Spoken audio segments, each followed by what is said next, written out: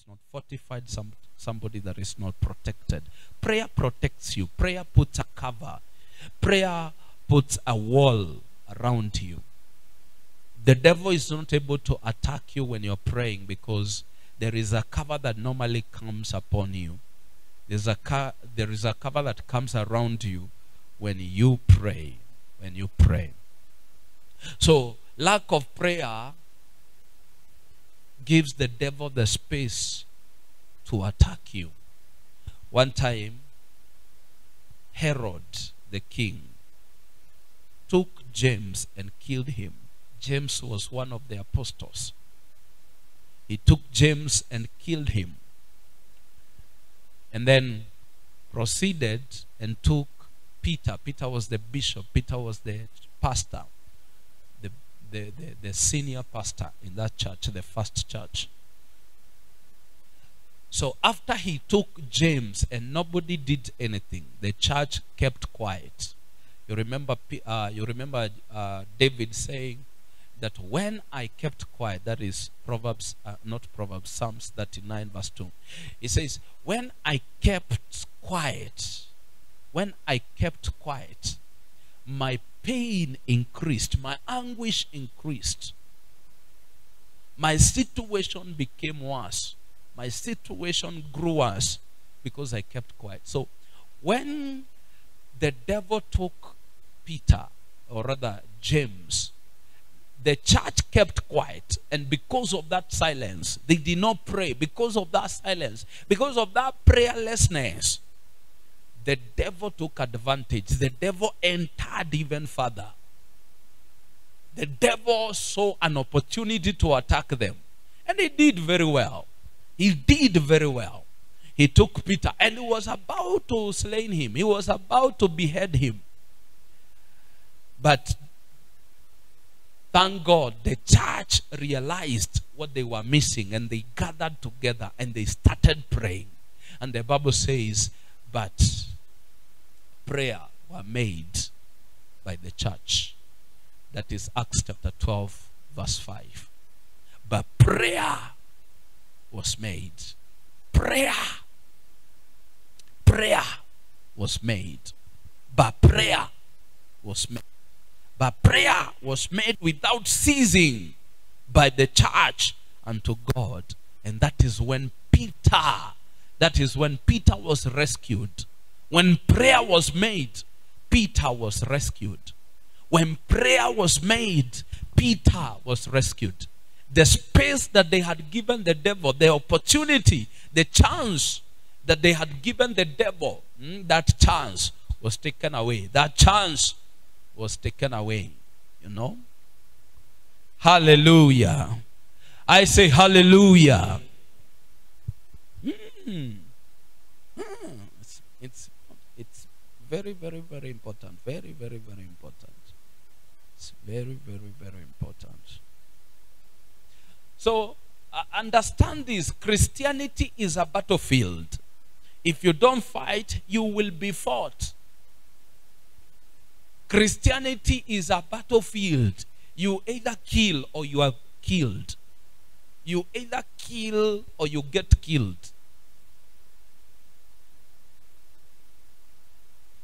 The devil you don't kill today will kill you tomorrow. So that's why you have to really be vigilant. And that's why you have to be merciless. That's why you have to be ruthless. That's why you have to be a fighter.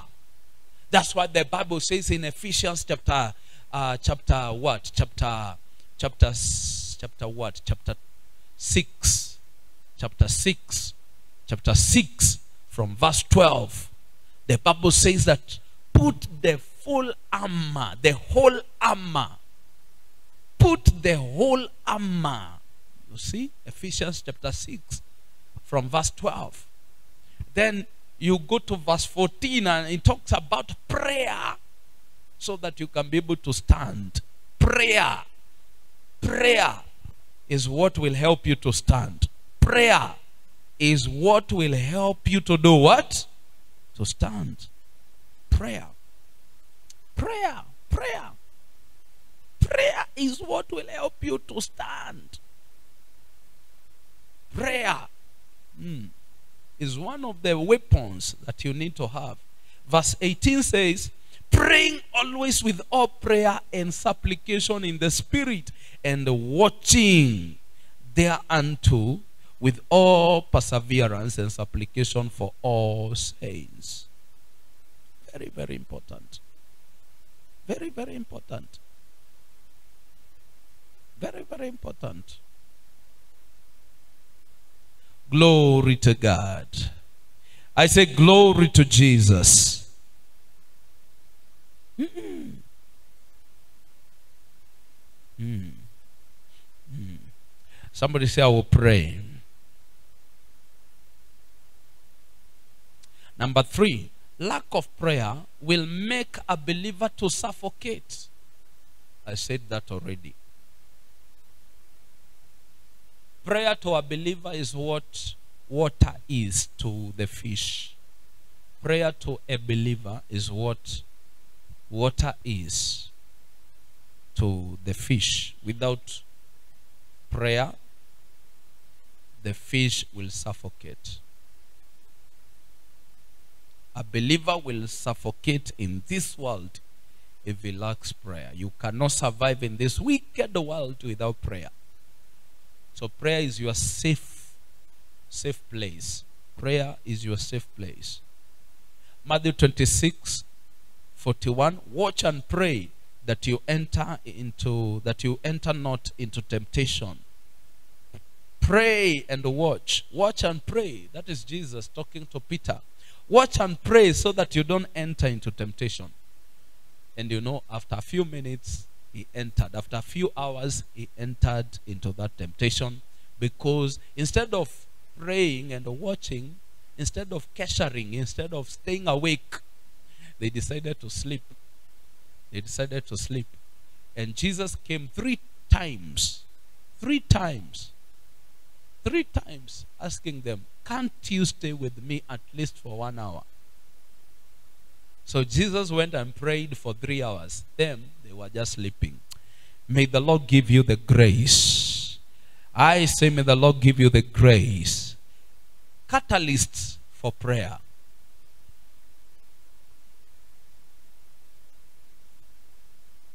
What motivates prayer?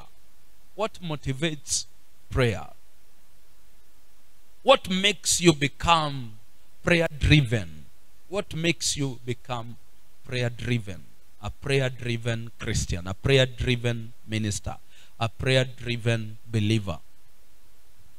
What drives your urge for prayer? What catalyzes your urge for prayer? What motivates your drive for prayer? Number one, desire to see change.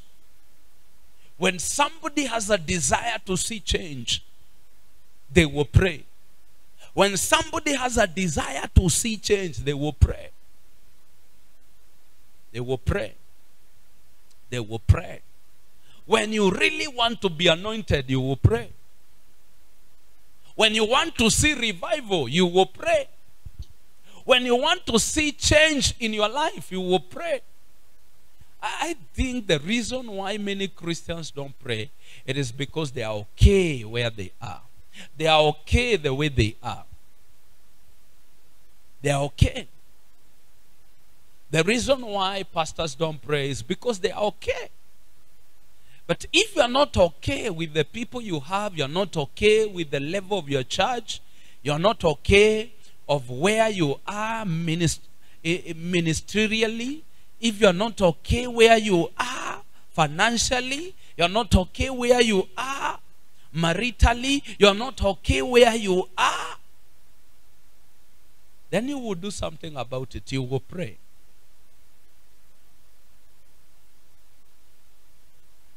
desire to see change. When somebody has a vision, when somebody has a dream to see change, they will not sit down and fold their hands.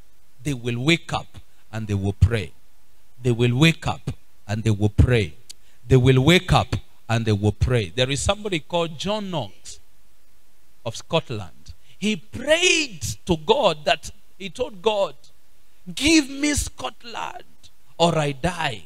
Give me Scotland or I die. You see, that's a man who had a desire, a hunger to see change. He wanted to see change in his nation. He wanted God to use him. He prayed. He told God, if you don't give me this land, if you don't give me this nation, I will die. Take me. If you don't give me Kenya, take me. If you don't give me Scotland, take me. He was ready to die if things are not going to change. He was ready to die if he will not see God in his life. So, the desire to see change will drive you to a place of prayer. It will motivate you to pray. It will motivate you to pray. List down the things that are wrong in your life and see if you will not pray. List down the things that are wrong and be honest with yourself. Be honest with yourself and tell yourself the truth. List down everything you think is not correct in your life, starting with your age. Starting with your age. And see where you're supposed to be at this time. And see whether you will not pray. You will pray when you realize that something is wrong in your life. You will pray when you realize that where you are is not where you're supposed to be. You will pray. You will pray. This is something that will motivate you. This is something that will challenge you to pray. People stop praying because they are comfortable. They they feel comfortable where they are. They are okay with their status quo. I want you to I want you to I want you to to challenge yourself. I want you to be realistic. I want you to be honest.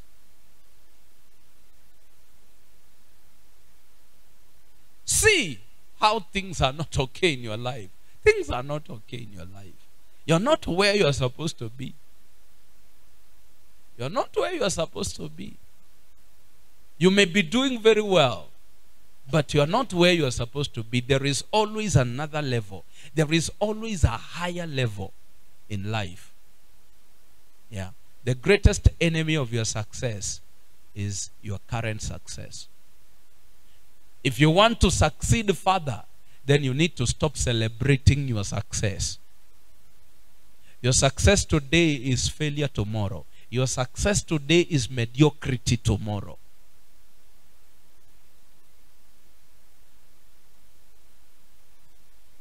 Celebrate success now and start planning for, eh, for the future. Start planning for the future. Don't over celebrate. It's okay to celebrate, but don't over celebrate. Don't over celebrate. Yes. To be fast doesn't mean that you eh, that you are the best. You can be fast but not the best. Hallelujah. You can be fast but not the best. You can be the first one who arrived here. But that doesn't mean that you are the best. Ah. You can be the first one to have a business in your in your family, but that doesn't mean that you are the best. There are other people who are better than you. You can be the first one to have a degree to graduate in your family, but that doesn't mean that you are the best. It is only in your family that you are the best. You are the best only in your family, but not in the world. And then again, there are other things that you can do that can make you better. So stop over celebrating. Stop over celebrating. Go for, for what is best. Go for what is best. There is no graduation in the school of knowledge and in the school of growth, in the school of progress. Somebody will grow here in Jesus' name. Amen. Pray. John Knox said, No, we cannot continue like this. God, give me Scotland. Give me the people of this nation. Give me souls in this nation. or I die. My church cannot continue to be the way it is. You either change my church or I die. Eh, yes. You either change the way things are or I, you see me there. You will see me there. I will come. I'm reminded of uh, A.A. Allen. There was a man of God that was called A.A. Allen. And one time he prayed. He locked himself in a house, in a room to pray. Uh, but then after a few hours, he left. Not even after a few, after a few minutes, he left the room and went looking for something to eat. He did that several, several years. He would say, I will pray, I will pray. So he would lock himself in a room. But then after a few hours, he would leave the room and continue with life and continue with mis, uh, miserable, his miserable life and continue with mediocrity. But one day he got tired. One day he got tired. And he told his wife, I want you to lock me inside this room and take the keys and do not open for me. And then the wife was very obedient. he told the wife, Don't open for me until I tell you I have seen God. Until I tell you God has come, don't open. And the wife was very obedient. You need to marry an obedient wife. Amen. So the wife locked him in the room. And then after, just like usual, he, after several hours, he wanted to come out because of the, uh, because of hunger. And then the wife asked, asked him, Has God come? No, but I will come back later to continue. The wife said, No, you told me. she told him, Stay there until you tell me God has come. I will not open the, this house. I will not open this door. And he stayed there until God came. Praise God. Hmm. When you get tired of mediocrity, you will pray. When you get tired of, you know, rotating at one place, hmm, rotating at one, at one place, you will pray. May the spirit of prayer come to you. Desire to see change. So John Knox prayed, Give me Scotland or I die. And then one time, he prayed until one time the Queen of Scotland said that I fear the prayer of John Knox more than the armies of England. Can you imagine that? I fear the prayers of John Knox more than the armies of England. That is how much he prayed. His prayer was so powerful. So powerful. So powerful. Hmm? Glory to God. I'm reminded of uh, uh, this man called Charles Finney. Charles Finney would organize a crusade. Like if he would organize a crusade in Kenya, there is this man that was his personal intercessor. He would send that man where he wanted to hold a crusade for, for weeks before.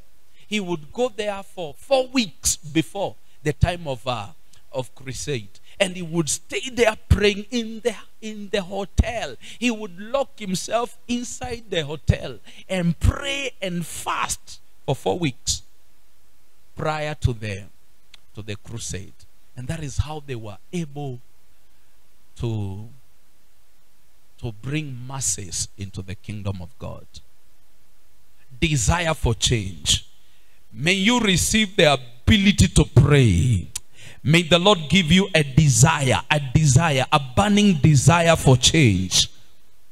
Yeah. Yeah. You know, somebody like Elijah. Elijah prayed that there will be no rain because he had seen the way people were behaving. And he said, Mutaniona, mutaona Mungu wangu. There will be no rain. There will be no rain because of the way you are behaving, the way you have, you know, you have behaved before God. There will be no rain in this land. And he prayed. The Bible says that he prayed earnestly. James chapter 5, verse 17. He prayed earnestly. He prayed earnestly. Elijah prayed earnestly. He did not just say, There will be no rain. You know, when you go to uh, the book of Kings, you think that uh, he just prayed. He just said, Let there be no rain. No, he did not say, Let there be no rain. He prayed earnestly. He prayed earnestly that there will be no rain. And for a period of three and a half years, there was no rain in Israel. There was no rain in Israel in a period of three and a half years. Hallelujah. The Bible says, verse 18 of James chapter 5, uh, the Bible says that Elijah was a man of like passion. He was just like us. He was a man of like passion. He was just like us. He was just like us. He was just like us. He was just like us. He was just like us, but he prayed. He was like you, but he prayed. James chapter 5, verse 17 and 18. Verse 8, 17 and 18. Verse 17 says that he was just like us. He was a man of like passion. And then verse 18 is the one that talks about how he prayed earnestly. He prayed earnestly that there will be no rain. That there will be no rain. That there will be no rain.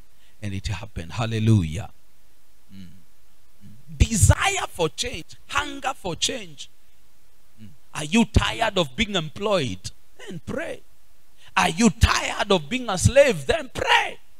Are you tired of things not working? Then pray. Are you tired of your career not working? Then pray. Are you tired that things are not happening in your life? Then pray. Are you tired of where your ministry is? Then pray. Then pray. Come to church and pray. Don't whine. Don't stay there crying and complaining. Hmm? Complaining. Hmm? Don't complain. Pray. Number two, hunger for God. Hunger for God. So, number one, catalyst for prayer or motivation for prayer is change. Desire for change, desire to see change. And then number two, hunger for God. Hunger for God. When you want to see God in your life, when you really, when you love God so much, when people love God so much, they pray a lot. Mm. Your love for God is Di- is directly proportional to your level of love. Your level of love. Your level of life.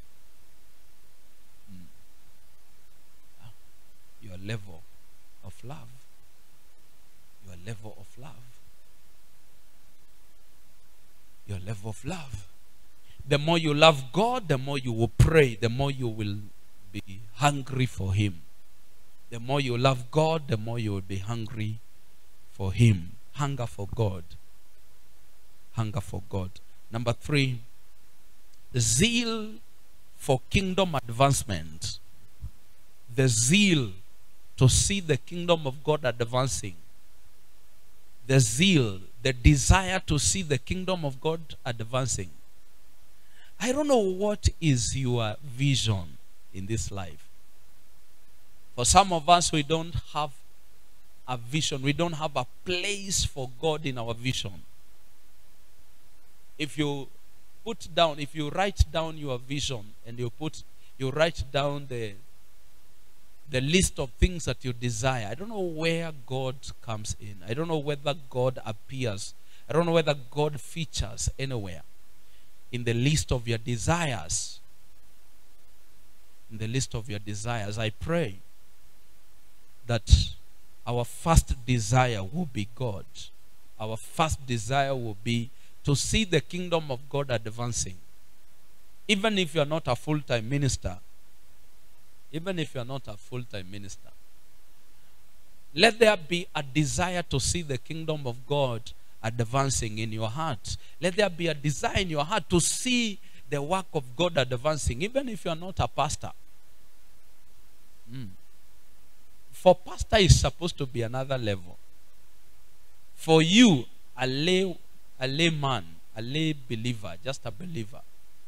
For you, you are supposed to have, God is supposed to feature at least somewhere number one, somewhere in your in your list of desires.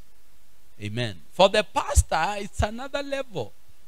For the pastor, it's supposed to be the main desire, the main, the main desire. The main desire for a pastor is to see the kingdom of God advancing. But as for you, it's supposed to be part of what you desire. Part of the things that you desire. One of the things that you desire. And it's supposed to be the top one, the first one. Glory to God. Now it's a shame that you are a pastor, but you you don't have zeal for the kingdom of God.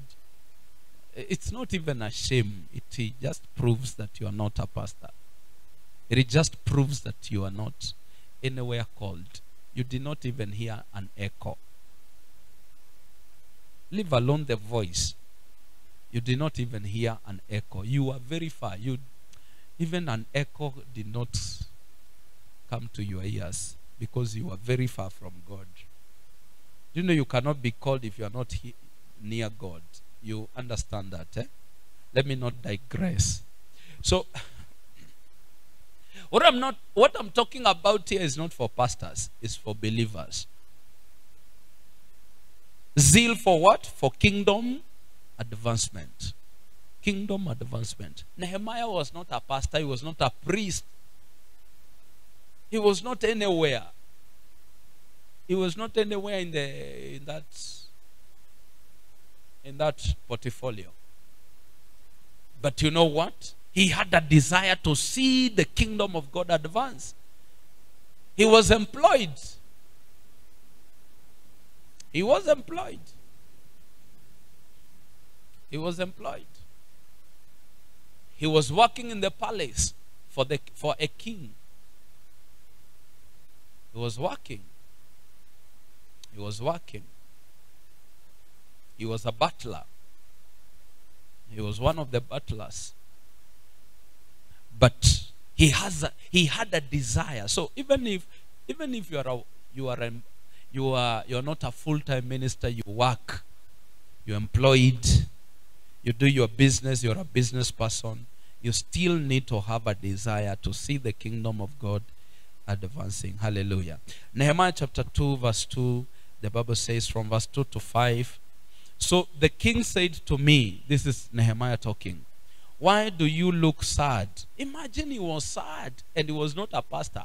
He was sad because the because Jerusalem, the wall of Jerusalem was in ruin. Hmm?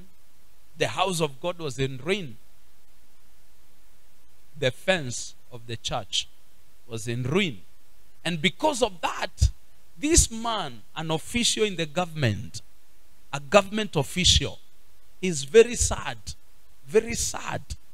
Until people are noticing. When do you get sad? Hmm? When do you get sad?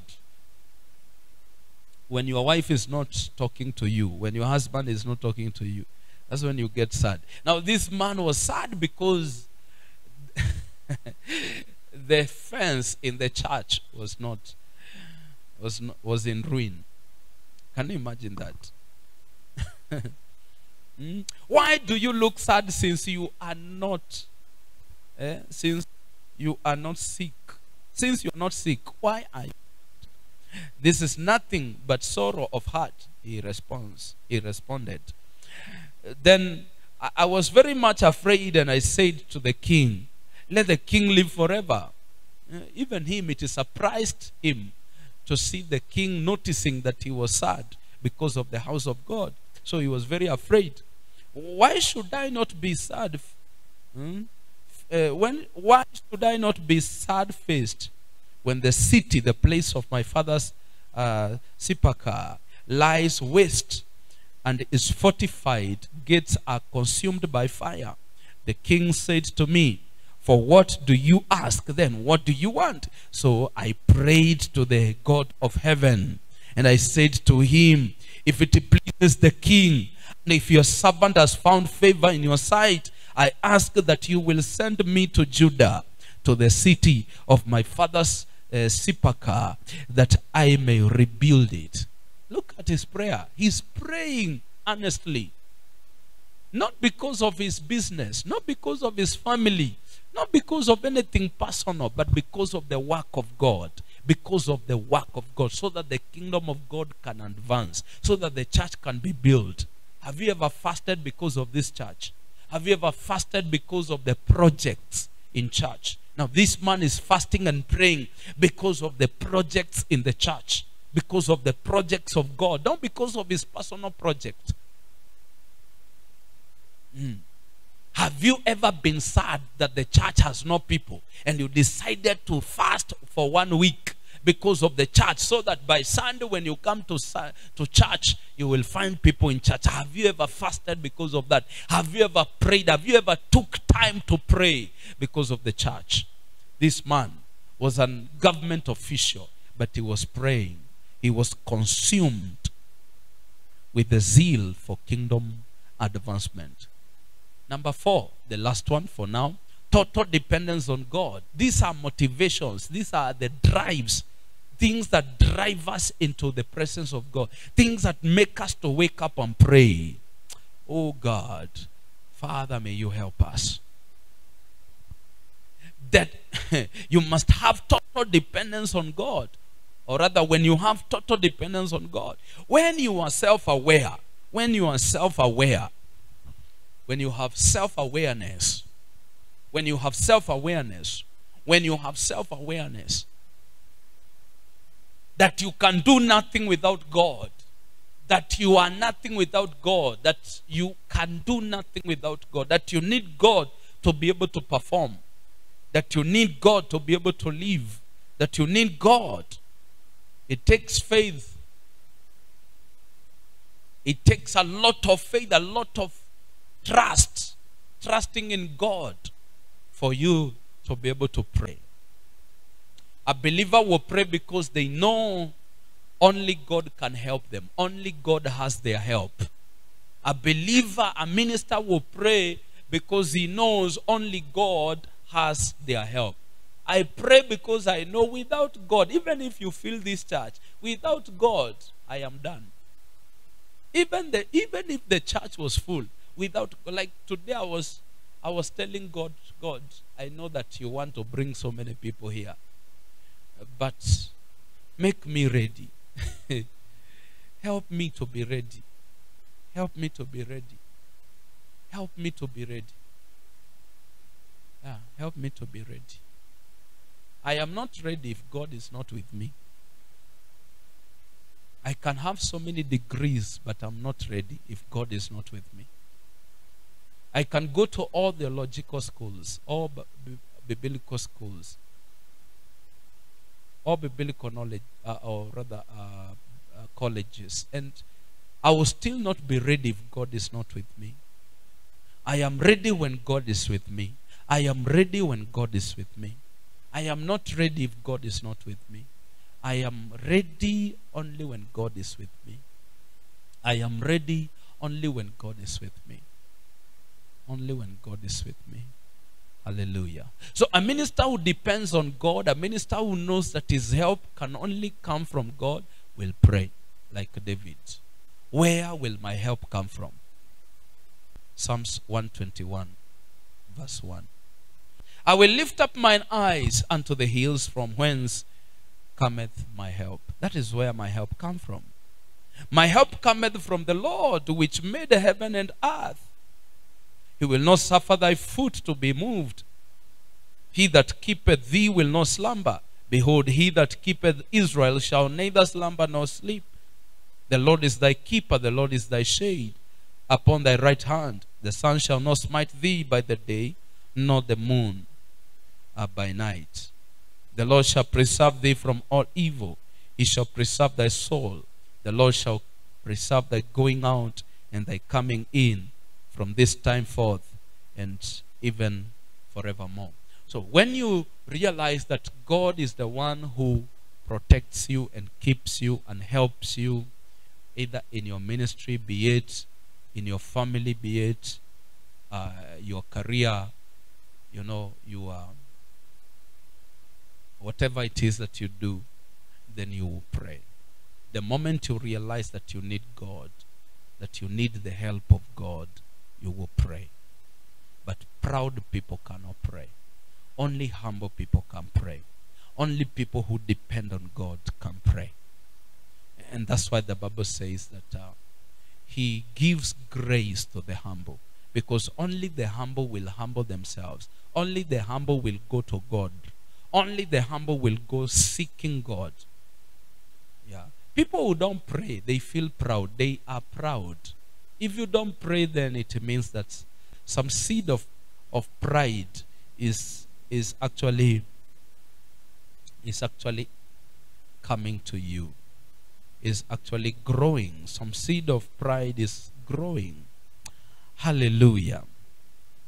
So awareness that only god has your help will take you to the altar of prayer to the altar of prayer to the altar of prayer